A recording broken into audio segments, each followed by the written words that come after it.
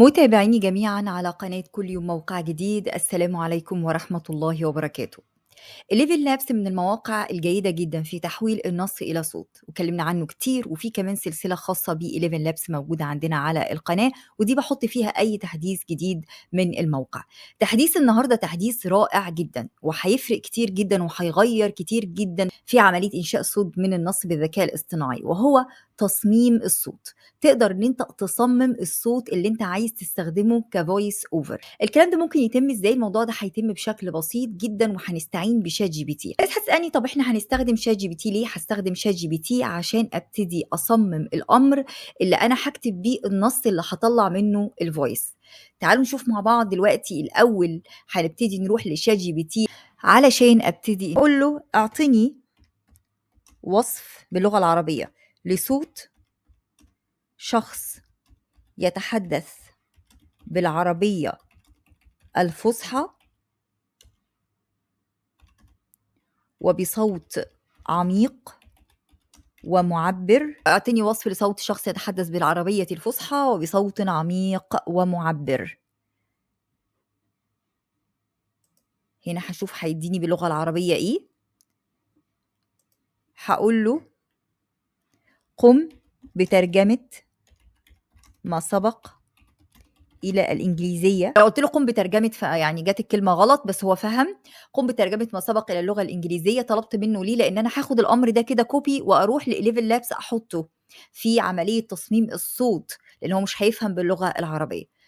جميل جدا. نروح بقى نصمم الصوت إزاي في ElevenLabs بتخش على الحساب بتاعك على ElevenLabs الرابط موجود في الوصف أسفل الفيديو اللي لسه ما استخدمش ElevenLabs أتمنى إن أنت تروح للسلسلة الخاصة ب ElevenLabs وأنت هتعرف كل حاجة عنه وأي تحديث في ElevenLabs بينزل في هذه السلسلة.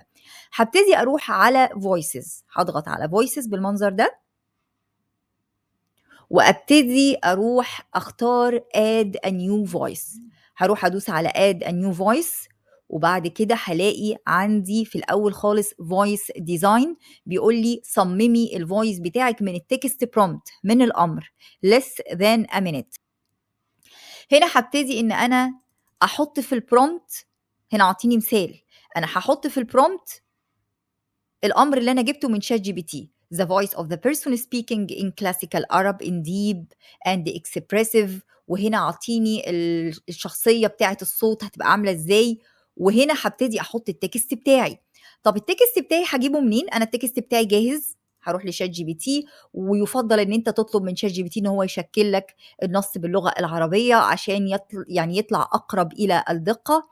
هنا هبتدي في نص اسمه سائر في الحياة رغم الصعوبات. هبتدي آخد سائر في الحياة رغم كل الصعوبات هو ده النص. وأبتدي أروح ل ElevenLabs وابتدي أحط النص بتاعي بالمنظر ده. انت ليك لحد ألف character تقدر تحطهم. هنا حوالي 632 character. تعالوا نعمل generate لل voice ونسمع ال voice هرجع تاني بشكل سريع كده اعمل recap ألخص اللي فات ده كله. طبعا بتروح تجيب الأمر منين؟ بتروح تجيب الأمر من شات جي بي تي يفضل. الوصف الخاص بالأمر. وانت بتروح زي ما إحنا شفنا كده إحنا كتبت باللغة العربية وفي الآخر ترجمني باللغة الإنجليزية زي ما طلبت له وحطيت الأمر في ال voice design وبتجيب ال text بتاعك اللي انت بتحضره ايا كان ولو انت ال text بتاعك هتجيبه من شات جي بي تي اطلب منه إن هو يشكله لك هيشكله لك علشان يطلع لك النتيجة دقيقة. بعد كده هبتدي أقول له generate a voice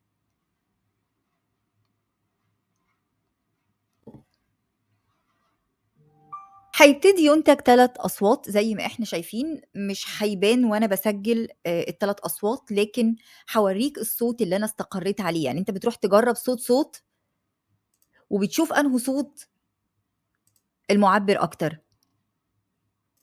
فأنا ببتدي أجرب الصوت. طبعا مش عاجبك الأصوات ابتدي أعمل generate voice مرة تانية.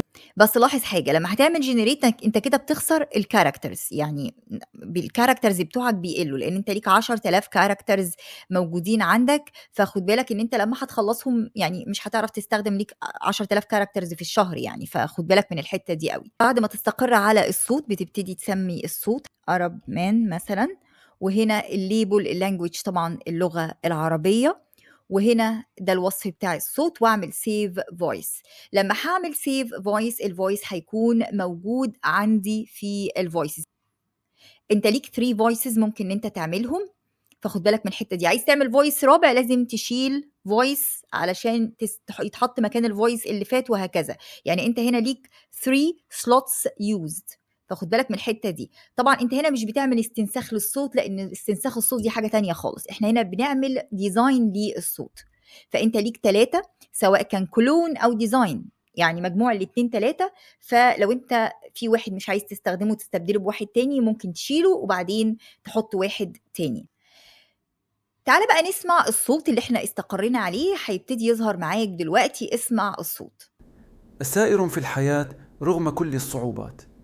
في دروب الحياة المتعرجة قد نجد أنفسنا محاطين بالعوائق والمحن. تلك العقبات التي تقف حائلا أمام خطواتنا وتجعل المسير شاقا. ده الصوت اللي إحنا استقرينا عليه. تعالى بقى نشوف نعمل صوت تاني أو نعمل design لصوت تاني. هبتدي أروح أقول add a new voice. هنا هختار أيضا. add a new voice. هنا هحط الأمر اللي أنا جبته من شات جي بي تي.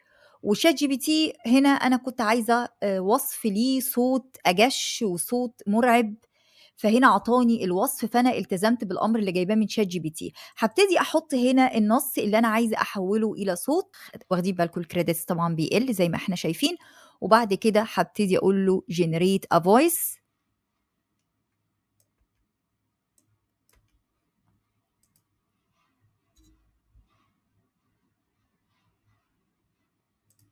هيبتدي ينتج لي ثلاث أصوات.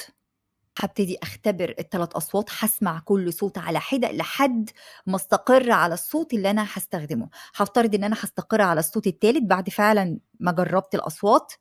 هبتدي أقول له select voice وهبتدي هنا أسميه